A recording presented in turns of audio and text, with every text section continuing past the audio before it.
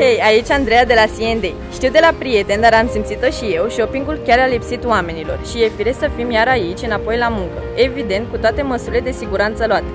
Și în magazin și la cabinele de probă și pe întreaga suprafață din incinta molului.